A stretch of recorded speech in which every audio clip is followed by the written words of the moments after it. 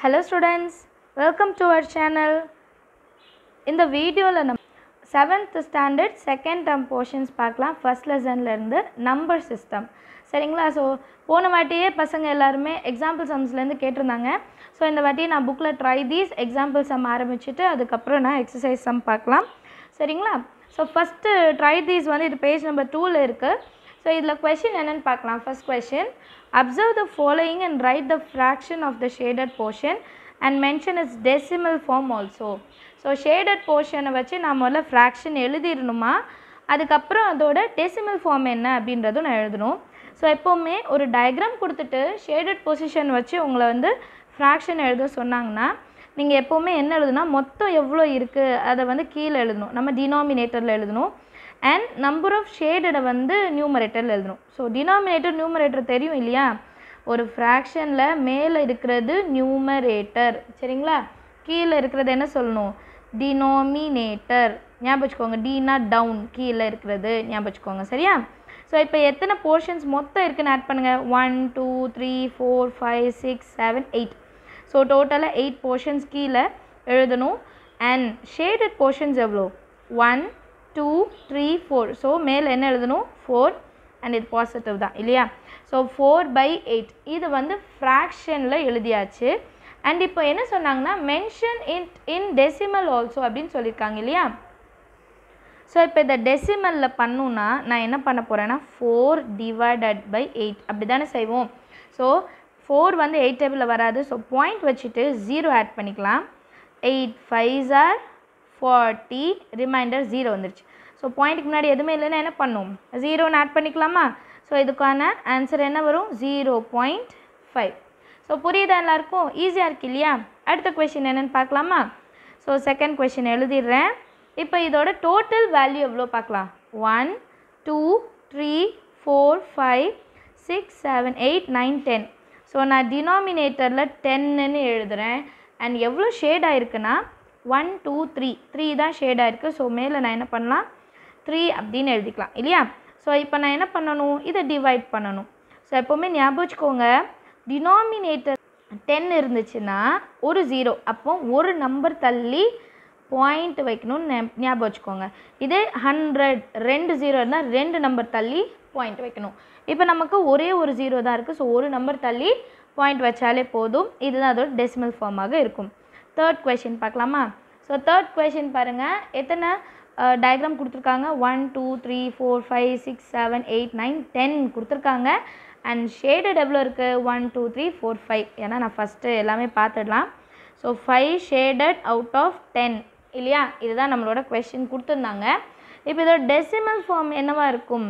Ten ஒரு zero ஒரு zero என்னென்ன பண்ணும் ஒரு நம்பர் தள்ளி பாயிண்ட் வச்சாலே போதும். இந்த பக்கமாக இந்த பக்கமாக ஒரு நம்பர் தள்ளி ஒரு பாயிண்ட் இதுதான் டெசிமல் ஃபார்ம் ஈஸியாக இருக்குது பார்த்தீங்களா நீங்களும் ட்ரை பண்ணுங்கள் ஸோ இப்போ செகண்ட் சம் என்னென்னு பார்க்கலாம். Represent the following fractions in decimal form by converting the denominator into 10 or power of 10 இது ரொம்ப சிம்பிள் எயிட் ஸ்டாண்டர்டில் இது உங்களுக்கு ஃபஸ்ட் எக்ஸசைஸ்லேயே வரும். ஸோ இப்போமே நம்ம தெரிஞ்சு வச்சுக்கிட்டா நல்லது இல்லையா? ஸோ ஃபஸ்ட்டு கொஷின் என்ன இருக்குது த்ரீ பை ஃபைவ் ஸோ அதை தான் நான் எழுதியிருக்கேன். இப்போ என்ன சொல்கிறாங்கன்னா changing the denominator into ten இல்லைன்னா டென் பவர் அப்படின்னு கொடுத்துருக்காங்க. அப்படின்னா ஒன்றுமே இல்லைங்க. நீங்கள் டினாமினேட்டரை டென்னாக மாற்றணும் அப்படின்னு சொல்கிறாங்க இப்போ ஃபைவ் டேபிளில் டென் எப்போ வரும்? டென் வந்து டூ டைம்ஸ் வரும். ஸோ இன்டூ டூ மேலேயும் into two so three twos are six five twos are ten இப்போ இதுக்கப்புறம் நமக்கு ஈஸியாக சால்வ் பண்ணிடலாம். ஜீரோ இருந்தால் என்ன சொன்னேன்? ஒரு நம்பருக்கு அப்புறமா புள்ளி வைங்க. So zero point six. இதுதான் ஆன்சர் இப்போ செகண்ட் கொஷின் என்ன எழுதியிருக்காங்கன்னா ஃபோர் பை டென்னுனே எழுதியிருக்காங்க. டைரெக்டாக அவங்களே ஆன்சர் வந்து டி டினாமினேட்டரில் வந்து டென்னுனே கொடுத்துருக்காங்க. ஸோ டினாமினேட்டர் டென் இருக்குது அப்போ ஒரு நம்பர் தள்ளி என்ன பண்ணணும் நம்ம? பாயிண்ட் வைக்கணும். Very good so zero point four இப்போ தேர்ட் கொஷின் என்ன கொடுத்துருக்காங்க பார்க்கலாமா? டூ பை ஃபோர் அப்படின்னு கொடுத்துருக்காங்க. கொஞ்சம் கஷ்டமாக தான் இருக்கும் இல்லையா? ஏன்னா ஃபோர் டேபிளில் வந்து டென்னே வராது. அப்போ நம்ம என்ன பண்ணலாம்? கொஞ்சம் யோசனையாக இருக்கும் இல்லையா? ஸோ ரொம்ப ஈஸியாக சொல்லித்தரேன். ஃபோர் இன்ட்டு டுவெண்ட்டி ஃபைவ் செய்ய போகிறோம் சரிங்களா? ஸோ டுவெண்ட்டி ஃபைவ் பெரிய டேபிள்லாம் இல்லை. எப்போவுமே ஃபோர் வந்துச்சுன்னா ஹண்ட்ரட் வரணும் டுவெண்ட்டி ஃபைவ்னு நினச்சிக்கோங்க. சரிங்களா? So four into twenty five என்னது? Hundred and two into twenty five எவ்வளோ? ஃபிஃப்டி இப்போ ஜீரோ ஜீரோ முதல்ல கேன்சல் பண்ணிடலாம்.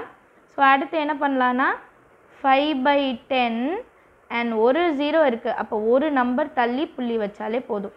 ஓகேங்களா? இது ஒரு மெத்தட் டூ பை ஃபோருக்கு இன்னொரு மெத்தடும் இருக்குது அதுவும் எழுதலாம். ஸோ டூ பை ஃபோரோட இன்னொரு மெத்தட் என்ன தெரியுமா?